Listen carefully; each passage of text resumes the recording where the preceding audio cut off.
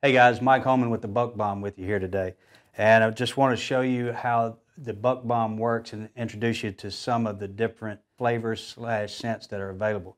Buck Bomb is a revolutionary dispersal system that uses a patented atomization nozzle so that when a guy sprays it, he gets an atomization of the scent that's inside. Now that scent right there can travel up to a quarter of a mile and it sticks to the vegetation and all the foliage around you so you effectively greatly extend your scent cone, if you will. For the whitetail, we have Doe P, Dominant Buck, Ambush, and the number one seller, Doe and Estrus. Doe P is a great uh, early season and late season cover scent.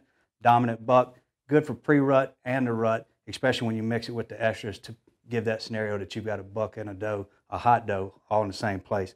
Ambush is our curiosity slash attractant, which is our all-season scent from the first day to the last day. That's the scent you want. Look for the bomb that interests you at your nearest retailer or at www.buckbomb.com.